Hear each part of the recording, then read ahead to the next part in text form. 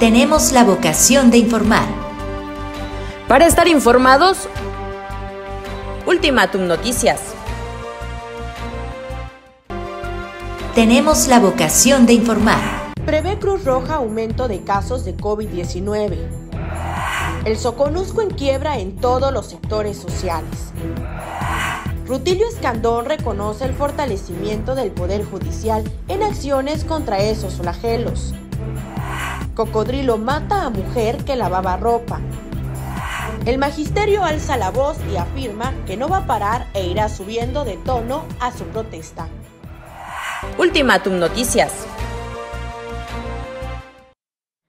Hola, ¿qué tal? Muy buenas tardes, qué gusto que nos acompañe. Yo soy Sarif Arguello y esto es Ultimatum Noticias y prevé la Cruz Roja aumento de casos de COVID-19, pues afirman que por actos masivos en pasadas campañas de proselitismo. El delegado estatal de la Cruz Roja Mexicana en Chiapas, Francisco Alvarado Nazar, dio a conocer que tras el pasado proceso electoral, en las próximas semanas podría presentarse un rebrote en casos del COVID-19 y ante esa posibilidad dicho organismo de socorro estará atento a prestar servicios de emergencia pues durante las campañas, al inicio de ellas, convocaban a pocas personas.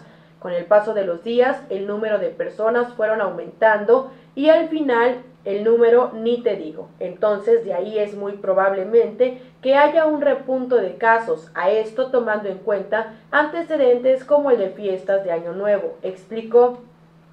Pues ante esta situación mencionó que es importante que la ciudadanía siga con la guardia arriba, pues la Secretaría de Salud informa casos nuevos todos los días. Además, el año pasado en esta institución se cerró con una atención de más de 250 traslados en el estado por COVID-19. Ahí está la información por parte del secretario de la Cruz Roja, Francisco Nazar, el delegado de esta institución. Además se encuentra en el cuerpo de un bebé recién nacido precisamente en Pichucalco. Los vecinos reportaron a las autoridades municipales el hallazgo del cuerpo de un bebé brutalmente acribillado en las orillas del arroyo Chaltenango en el municipio de Pichucalco. En el lugar ya se encuentran las autoridades pertinentes y Rutilio Escandón reconoce el fortalecimiento del Poder Judicial en acciones contra estos flagelos, pues se la entrega de certificación de competencias laborales, acción con legalidad y prevención de la corrupción a servidoras y servidores públicos del Tribunal Administrativo del Poder Judicial del Estado por parte del Instituto de Administración Pública, el gobernador Rutilio Escandón Cadena subrayó que además de la capacitación y profesionalización, estas acciones refuerzan el compromiso de trabajar en el combate frontal a la corrupción e impunidad y en la recuperación de la confianza del pueblo hacia las instituciones. Además, el mandatario destacó la alianza entre este órgano del Poder Judicial y el IAP Chiapas, a fin de contribuir en la preparación de profesionistas al servicio del Estado y de la Nación, al tiempo de precisar que esta suma de esfuerzos es fundamental para tener mayores conocimientos y herramientas enfocadas a la atención sensible y humana de las personas que llegan a las instituciones en búsqueda de justicia. Además, resaltó la conmemoración de los 44 años de la constitución de Chiapas que a lo largo de su historia se ha mantenido estrechamente ligado a las instituciones gubernamentales y su gran labor ha sido parte esencial del avance en la profesionalización de la administración pública de la entidad. Y además el Soconusco está en quiebra en todos los sectores sociales y es urgente atenderlo pues el Frente Cívico Popular del Soconusco consideró que se necesita un programa de desarrollo económico para la frontera sur de México porque no se cuenta con ningún proyecto del gobierno federal y del Estado, pues Pedro Pablo Scott Vázquez, dirigente de este organismo, señaló que últimamente en este municipio ha entrado en un desfasamiento donde el desempleo se presenta más y el poder adquisitivo se pierde, además del alza de precios que cada día afecta a las personas. Añadió que se cuenta con una gran demanda de compras de la canasta básica, pero que los sueldos continúan demasiado bajos y esta situación viene agravando los problemas de las familias chiapanecas. Finalmente se hizo un llamado al gobierno federal que se preocupe porque hay una quiebra en todos los sectores sociales y no se cuenta con la reactivación y mucho menos una estrategia de desarrollo económico para ayudar a los chiapanecos.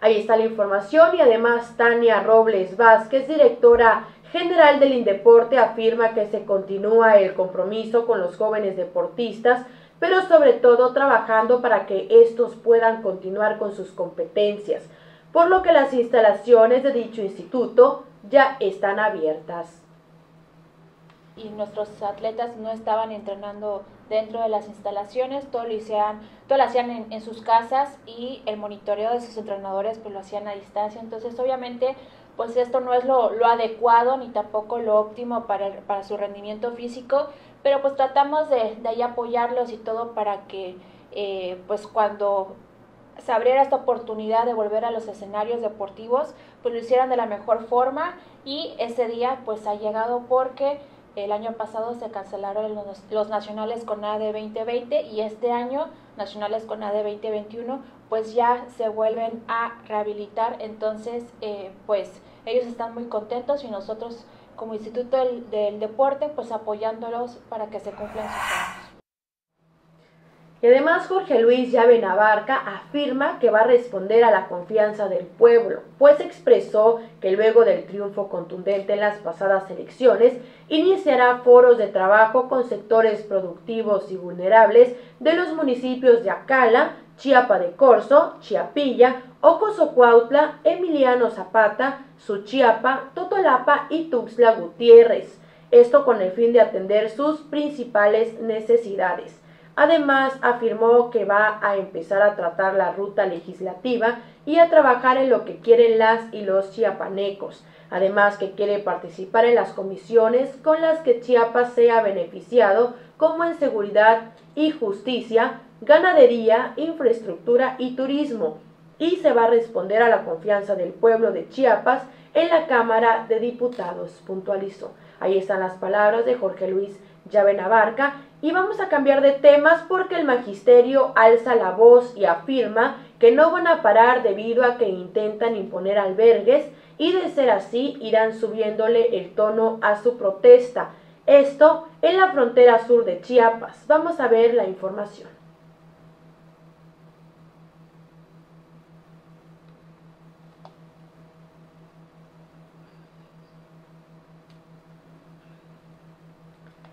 Y el Instituto de Migración ha retornado a 42 mil personas del norte de Centroamérica. Del 6 de enero al 6 de junio, 42.067 personas de migrantes originarias de países del norte de Centroamérica han sido expulsadas de México por el Instituto Nacional de Migración, de acuerdo a la red jesuita con migrantes de México, en el marco del Día del Refugiado que se celebró este 20 de junio aseguró que los migrantes bajo ningún motivo deberían de ser devueltas o retornadas a los países donde su vida corre riesgo. Cerca del 60% de dichas solicitudes son de personas provenientes de Honduras, Salvador y Guatemala. Lo anterior pone en evidencia las necesidades de protección internacional que tienen las personas, por lo que se solicita garantizar que una vez el trámite iniciado de refugio, asilo político o protección complementaria se cumpla con los plazos establecidos, procurando que los tiempos de espera del proceso sean menos desgastantes y que una vez concedidas las medidas de seguridad se asegure un adecuado proceso de integración a las comunidades donde se instalen. Además, Carlos Morales Vázquez afirma que se visualiza un Tuxtla del mañana. Todo lo que se logre hacer durante la administración de Carlos Morales Vázquez para beneficio de Tuxtla Gutiérrez tiene que ser con una visión de sustentabilidad, con una visión de futuro para la década que viene, para el 2030-2040 dijo el presidente municipal electo el pasado 6 de junio. Tenemos que estar pensando en ello, en el sistema de agua potable, en el alcantarillado, en las pavimentaciones que hagamos de nuestras áreas verdes, en el rescate de los espacios públicos. Tenemos que tener una visión de sustentabilidad expresó desde los estudios de Ultimatum. Para ello, agregó que es necesario que las aguas residuales sean tratadas debidamente a ampliar los márgenes de tratamiento de las aguas. Hoy tenemos las plantas funcionando, pero no es suficiente, por lo que hay que pensar en colocar otras plantas de tratamiento de agua. También será necesario pensar en un relleno sanitario que no contamine el subsuelo y que funcione al 100%, como la marca Semarnat. Hoy tenemos un relleno sanitario funcional que ofrece un buen servicio, pero tenemos que mejorar con una visión del futuro, remarcó. Y cambiando de tema, una familia encuentra una serpiente de dos metros entre la ropa dentro de su domicilio ubicado en el barrio La Pimienta en Tuxtla Gutiérrez. Eh, por lo que los bomberos acudieron al llamado de los habitantes y atendieron con las medidas necesarias el percance. Afortunadamente no ocurrieron daños físicos. Y ve usted la siguiente información porque dos jóvenes sin vida fue el saldo que dejó un fuerte choque sobre la carretera Tuxtla Langostura. Rodrigo N de 26 años de edad y Diana Valeria N de 24, los cuales se desplazaban a bordo de un vehículo marca Chevrolet tipo Tornado. Y en información viral, un cocodrilo mata a una mujer que se encontraba a la orilla del río lavando ropa. Momentos de pánico se vivieron en la laguna del carpintero en Tampico al ser atacada una mujer que lavaba ropa en la orilla por un enorme cocodrilo que la tomó y la llevó al fondo del cuerpo de agua. Los hechos causaron conmoción en algunas personas que pasaban por el lugar mismas que pidieron de inmediato el apoyo de los cuerpos de emergencia. Aquí las imágenes. Ah, ahí trae a la señora ya ya está muerta la señora. No, ya, hijo. Ya no, ¿ah? Desde que la oh, pues tanto tiempo dentro del agua. Mírala, ahí la atrás. Ay, no. Qué feo. Mira, está bien grande el animal. Ahí ya la, ya la soltó, ya la soltó. El cuerpo está acá, ya. ¿Eh? el cuerpo está allá. Sí, ya la. agarraron aquí. Ajá. No, ahí está la señora todavía.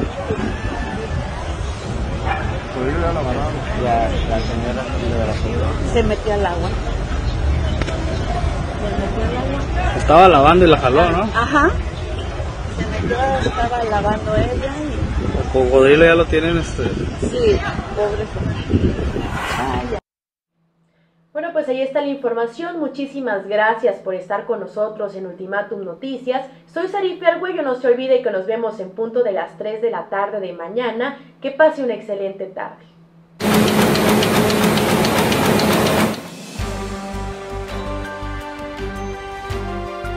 Tenemos la vocación de informar. Para estar informados, Ultimatum Noticias.